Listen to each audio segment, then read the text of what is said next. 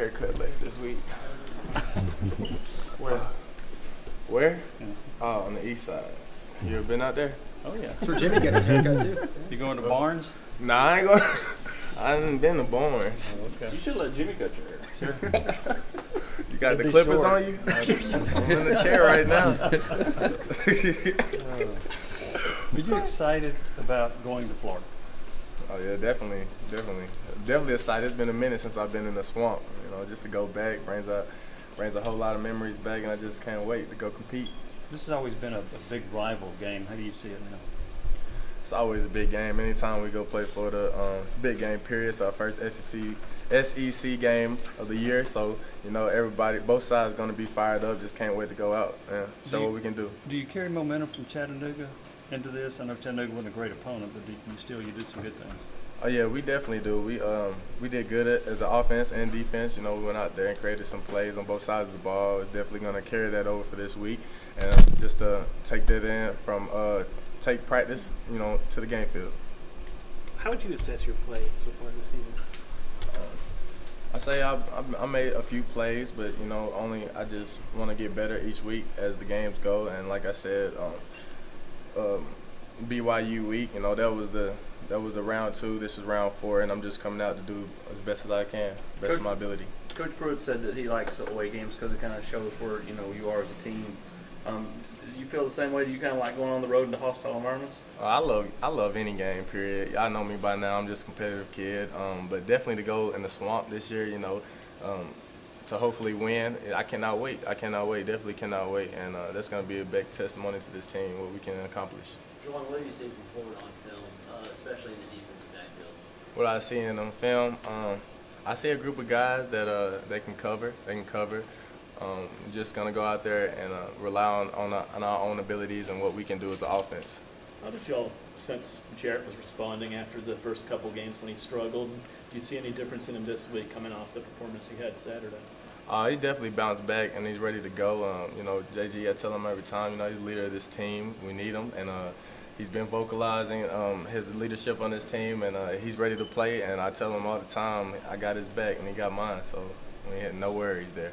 Jauan, as an upperclassman, you got a lot of guys going to the swamp as freshmen, playing for the first time. You know, not only in the swamp but in an SEC game. What should be the message you know that you're going to give give them before? It's uh, always the same message. You know, you got to prepare to win. And um, this week, that's all we're gonna be doing. We're gonna uh, we're gonna prepare our asses off um, this whole week and uh, come out there Saturday ready to execute. In the same breath, do, do you think it is almost a good thing that some of these guys don't have those kind of scars from those previous games? They don't know any better. They just go out there and play football like they've always done. Uh, can you repeat that question? Do you think it's a good thing that some of those young guys don't have the battle scars from the last few years playing teams like Florida and losing late, and can just they just go out there and play and play free? Um, I think it'll help. Um, I don't think it's necessarily a good thing or a bad thing. You know, when it comes down to this game, it's all about execution. And, and like I said, you got to come out there and prepare, whether you're a freshman or you're a fifth year senior. Um, the deal breaker is coming out and um, preparing for this game is gonna. It's, what's gonna matter the most. How happy were you for, for Tyler Byrd? Here's a guy that probably hadn't caught as many passes in his career as he would like, but on special teams, he's he's played very well, gets a block punt. How happy were you for him? So happy, so happy. And I'm always happy any of my guys, you know, go out there and make a play. Um, Tyler Byrd, he he busts his tail every day at practice, you know, um, special teams. And uh, last year he caught a touchdown against Alabama, and I was I was ecstatic then. You know, that's my dog. We uh, basically, you know, kind of grew up together, man. You know, what I'm saying like I said, this is basically my home here now. I live here for five years going on now, and just to see, you know, any one of my guys come out and make a play, it just it turns me up and it and it fills my heart with love. Jauan, What would a win for Saturday? What would that mean to you? Uh, it would mean a lot, you know. Uh, it'd be the first SEC like game of the year, you know, the first SEC win, and uh, basically, you know, like I said, it's round four, and I'm just ready to I'm ready to kick it off. You're in a stretch now, three top ten teams in these next four games. Y'all been you've been through these kind of stretches before earlier in your career. What's the secret in kind of getting through it and not wearing down and kind of being able to survive that kind of stretch? Um, secret, um, one one play at a time, um, literally. You go out there and you focus on eh, on that one play and only that play at a time, and you just collectively collectively bring it together, and um, you know you, you bring collectively a, a bunch of good plays together, and then once you do that, you know, you look at the end of the game and you can say that you give your all or not, and then, you know, you go from there. Florida's got a pretty good pass rush. What can this offense do to kind of neutralize and keep that pass rush in check? Uh, We're just going, to you know, like I said, we're going to prepare. We got offensive line that can handle that, so I'm not really worried about their pass rush. You know, they have a great team, and we, we have a great team as well. Jauan, last time we talked to you, uh, you talked about kind of the, the lack of energy on the sideline and how that was going to be something that, that you're going to harp on moving forward. How is the energy going into this week in the swamp?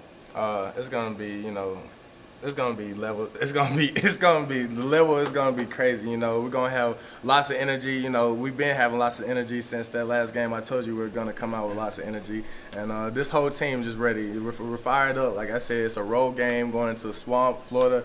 How else can you put it? Like it's an SEC game. We're gonna go out there and give our all, and that's all that matters.